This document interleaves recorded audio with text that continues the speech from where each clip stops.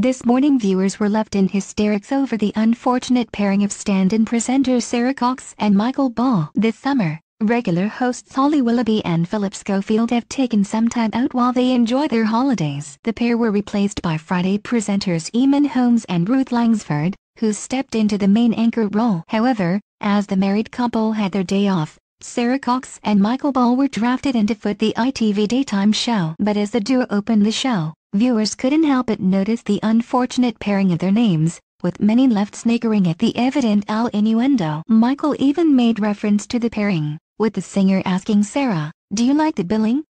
Ball and Cox, or Cox and Ball?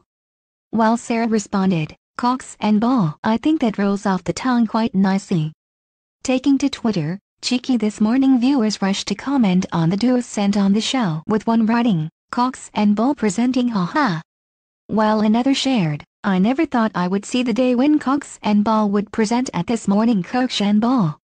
A third amused fan commented, Cox and Balls. How unfortunate, if you get it. Um were this pairing intentional?